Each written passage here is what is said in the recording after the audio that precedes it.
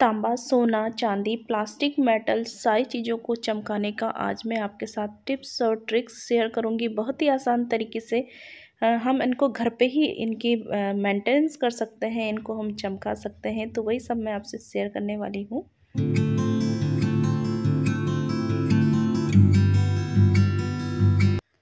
Hello दोस्तों, नमस्ते। कैसे हैं आप सब? आई होप सब स्वस्थ होंगे, मस्त होंगे। तो देखिए, यहाँ पे मेरे पास ये कुछ कॉपर के हैं, ये बॉटलें हैं और इनके साथ के ये गिलास हैं, जो कि मैंने काफ़ी टाइम से यूज़ नहीं किए हैं तो सोच रही हूँ उनको यूज़ करूँ। और यहाँ पे ये एक मेरे पास लोटा भी है पूजा का तो इसकी भी मुझे सफ़ाई करनी है। तो चलिए देख लेते हैं क्या किया है मैंने इनके लिए। तो देखिए यहाँ पे मैंने एक बाउल में दो तीन सिक्के ले लिए हैं, उसमें मैंने थोड़ा से चावल ले लिए हैं। और जी हाँ मैं इसको सॉस से करने वाली हूँ साफ़ तो आप भी इसका मैजिक देख सकते हैं सॉस का। ये सॉस खाने के अलावा तांबे को चमकाने में बहुत हेल्प करता है। और ले लिया है मैंने यहाँ पे डिश वॉश तो थोड़ा सा ही लेंगे। तो सबको मैं अच्छे से यहाँ पे इसके अंदर भर लूँगी बॉटल के अंदर। तो इससे जो है हम जैसे हम चावल के आटे से अपना स्क्रब करते हैं ना तो वैसे ही इस बॉटल का भी आज स्क्रब होगा अंदर से। तो चलिए इसमें मैंने थोड़ा सा पानी डाल दिया है और इसको मैं अच्छे से इसका बंद करके अब इसको हिला खूब ऐसे सेक करूँगी, ताकि ये अंदर से भी साफ़ हो जाए और चलिए देख लेते हैं अब इसको मैंने बाहर से कैसे चमकाना है। तो इसके लिए मैंने ले लिया है यहाँ पे देखिए ये स्क्रब है, बर्तन धोने वाला वो मैंने ले लिया है यहाँ पे और ले लिया है फिर से एक पाउच सॉस का। तो इससे जो है फिर मैं इसको साफ़ करने वाली हूँ और यकीन मानिए ये बहुत अच्छे से साफ़ वर्क करता है और बहुत अच्छे से ये क्लीन कर देता है और बिल्कुल ज़्यादा भी मेहनत नहीं करनी होती, ज़्यादा रगड़ना नहीं है बस। थोड़ा सा ही मैं ही यह अपना रिज़ल्ट दिखा देता है। तो देखिए, यहाँ पे बॉटल एकदम क्लीन हो चुकी है। तो एक दूसरा ट्रिक शेयर कर रही हूँ, इससे ऐसे भी आप कर सकते हैं। तो यहाँ पे देखिए, मैंने आटा ले लिया है, गेहूँ का आटा। थोड़ा सा उसमें नमक डाला है, एक चम्मच के करीब, और पानी डाल दिया है, और इसको अच्छे से मिक्स कर लिया है स्क्रब से ही मिक्स कर लिया है। अब जो है, इससे मैं इसको रब करूँगी स्क्रब की मदद से, और साफ़ कर लूँगी अच्छे से।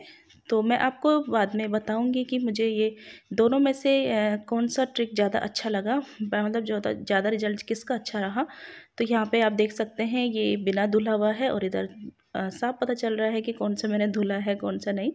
तो ये देखिए, फ़र्क आपके सामने है, सब कुछ रिज़ल्ट। तो यहाँ पे इस लोटे को भी मैं यहाँ पे चमका देती हूँ। कुछ दिन पहले ही मैंने इसको सॉस से साफ़ किया था तो एकदम अभी साफ़ ही है, लेकिन फिर भी जब धुल रहे हैं तो मैंने कहा इसको भी धुल देती हूँ। तो यहाँ पे मेरे सारे कॉपर के बर्तन जो हैं, चमक गए हैं। तो इस तरीके से आप भी कर सकते हैं, और मैं आपको पर्सनली बताऊँ तो मुझे सॉस से ज़्यादा बेटर लगा, क्योंकि सॉस से ना हमें ज़्यादा, मुझे ज़्यादा मेहनत करने की ज़रूरत नहीं पड़ी, ज़्यादा मैंने इसको रब भी नहीं किया और आसानी से हो गया। आटे से थोड़ा सा लगा मुझे तो ये देखिए, यहाँ पे मेरे सारे बर्तन एकदम चमक के रेडी हो गए हैं, तैयार हो गए हैं। तो आप इस ट्रिक को ज़रूर इस्तेमाल कीजिएगा और बहुत आसान तरीके से, एकदम कम खर्चे में। सॉस का पैकेट तो दो रुपये के आ जाता शायद।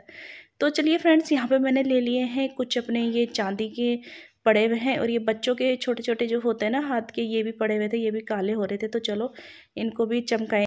और कुछ मेरी पुरानी पायलें हैं तो चलिए देख लेते हैं इनको कैसे साफ़ करती हूँ। तो यहाँ पे मैंने एक बाउल ले लिया है, इसमें मैंने गरम गरम पानी डाल दिया है और इसमें डालूँगी अब खाने वाला सोडा जो होता है ना, एक चम्मच के करीब मैंने इसमें डाल दिया है और अब ले लेंगे इसमें फॉइल पेपर तो फॉइल पेपर इसमें डाल देंगे और अब इसमें जो है हमारे जो भी ये हैं, चांदी के पायल वगैरह जो भी हैं, इनको सबको इसमें डाल देंगे और 20 मिनट के लिए ढक के छोड़ देंगे। तो चलिए यहाँ पे 20 मिनट रेस्ट करने के बाद देख लेते हैं। तो यहाँ पे मैंने चेक किया तो काफ़ी अच्छे से ये वर्क किया है इसने और बहुत अच्छे से मतलब चमक गए हैं।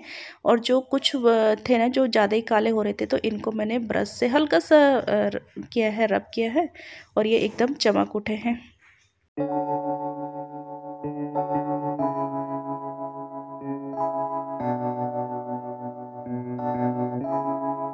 Feels like love. Into my heart. Now I'm falling fast and my world's expanding. Feels like love, even though we're kinda nervous. Together we'll be strong. I don't know for sure, all I know. Didn't know what hit me when we started. I was shaking electric, trying to stay calm and collected. तो देखिए friends यहाँ पे next मैंने ले ली है अपनी कुछ gold की ज्वेलरी ले ली है। यहाँ पे ये कुछ रिंग्स हैं और इयर भी हैं। तो इनको मतलब ये काफ़ी टाइम पहले की है। मतलब ये आ, लगा लीजिए आप शादी के टाइम के हैं मेरे सारे। तो मतलब जैसे गोल्ड होता है ये पुराना हो जाता है ना जब काफ़ी टाइम हो तो ये पुराना सा लगने लगता है। मतलब इसकी जो चमक होती है ना वो फीकी पड़ जाती है। तो चलिए आज इन सबको हम चमकाएँगे। तो कैसे चमकाएँगे वो देख लेते हैं। और यहाँ पे चैन भी ली है मैंने। तो मतलब दो इयर है और चैन है, दो रिंग्स है और यहाँ पे मैंने इनके पीछे का जो होता है ना रिंग्स का वो निकाल लिया है और चलिए, यहाँ पे रख लिया है मैंने गैस पे एक बर्तन रख लिया है और इसमें मैंने पानी डाल दिया है। पानी इतना रखना है कि हमारी जो ज्वेलरी है वो अच्छे से डूब जाए इसमें। तो यहाँ पे मैंने देखिए डिटर्जेंट पाउडर डाला है एक चम्मच और एक चम्मच डाला है हल्दी। नॉर्मल जो हम खाने में इस्तेमाल करते हैं ना वो वाली हल्दी तो ये देखिए इसका कलर एकदम लाल आ गया है हल्दी का। तो इस हल्दी से जो है हमारी जो ज्वेलरी होगी ना, इसमें चमक आएगी गजब की। तो हमने इसमें ज्वेलरी अपनी डाल दी है और इसको मीडियम आँच पे पकाना है। एक दो मिनट के लिए आप इसको पका लीजिए। तो यहाँ पे मैं इस पर ढक्कन लगा के इसको एक दो मिनट के लिए पकाऊँगी और उसके बाद चेक करेंगे हम। तो यहाँ पे देखिए एक दो मिनट यहाँ पे पानी अच्छे से खोल चुका है। तो मैंने यहाँ पे गैस बंद कर दी है और अब हम चेक करेंगे। तो मतलब जब इसको ठंडा हो जाए नहीं है, तब इसको चेक करेंगे। तो यहाँ पे ये ठंडा हो चुका है गुनगुना सा। तो चलिए यहाँ पे देख लेते हैं। आप देख सकते हैं यहाँ पे ज्वेलरी में एक बहुत ही अच्छा सा कलर आ चुका है। और मतलब जो ऐसे हम फेशियल करते हैं ना तो वैसे ही हमारी मैंने अभी यहाँ पे अपनी गोल्ड की ज्वेलरी का भी फेशियल कर लिया है। तो ये देखिए पीछे से भी आसानी से साफ़ हो गया और इसको मुझे किसी को ब्रश व्रश से रब करने की ज़रूरत नहीं पड़ी है। अगर ज़्यादा गंदे हो ना तो तब कर सकते हो आप ऐसे ही ब्रश से तो साफ़ हो जाएगा, लेकिन मुझे करने की ज़रूरत नहीं पड़ी, क्योंकि ऐसे ही बहुत मतलब अच्छे से चमक उठी है। तो यहाँ पर देख सकते हैं आप।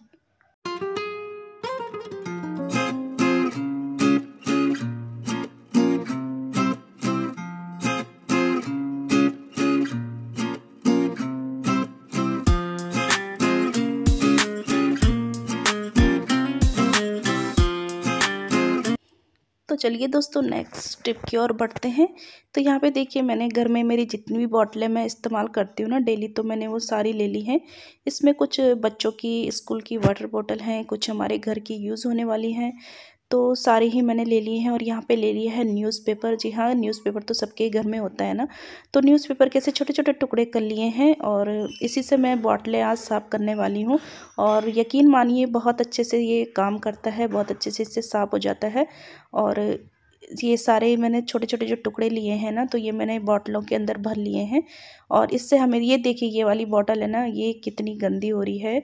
इसके मुँह मतलब ये सामने से ही पता चल रहा है आपको कि कितने मतलब जो आजकल बच्चे सभी मतलब गर्म पानी यूज़ करते हैं ना तो उससे ज़्यादा ये जम जाता है। तो चलिए देखिए यहाँ पर न्यूज़पेपर मैंने इसके अंदर भर लिया है और थोड़ा सा पानी डाला है और इसको मैं अच्छे से सेक करके और ओवरनाइट के लिए रख रही हूँ, ऐसी छोड़ दूँगी। आप चाहे तो इसको पाँच छः घंटे के लिए ऐसे छोड़ दीजिए, ऐसे थोड़ा सा सेक कीजिए और छोड़ दीजिए बोतलों को और ओवरनाइट के लिए ज़्यादा अच्छा ये काम करेगा। तो यहाँ पे देखिए मॉर्निंग में मैंने आके फिर से चेक किया है इनको तो अब मैं इनको धो लूँगी। तो देखिए दोस्तों जो न्यूज़पेपर होता है ना, इसमें एक प्रकार का केमिकल मिलाया जाता है, जिससे ये बॉटलें बहुत अच्छे से हमारी अंदर से क्लीन हो जाती हैं एकदम।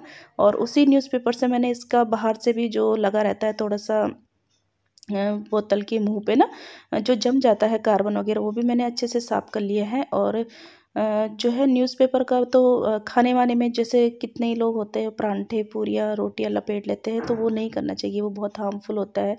न्यूज़पेपर हमारी सेहत के लिए तो अब देखिए, यहाँ पे मैंने अच्छे से अब धो लेना है इनको, क्योंकि न्यूज़पेपर पूरी मतलब डाला है हमने इसके अंदर तो वो केमिकल लग गया होगा तो इससे मैं अपना डिश वॉश से अच्छे से धो लूँगी इनको और मैं इसके बाद दिखाती हूँ आपको कि इसने मतलब ये बहुत अच्छे से काम करता है और बिल्कुल ब्रश व्रश लगाने की कोई ज़रूरत नहीं है और ऐसे ही अंदर से एकदम बोतलें हमारी क्लीन कर देते हैं।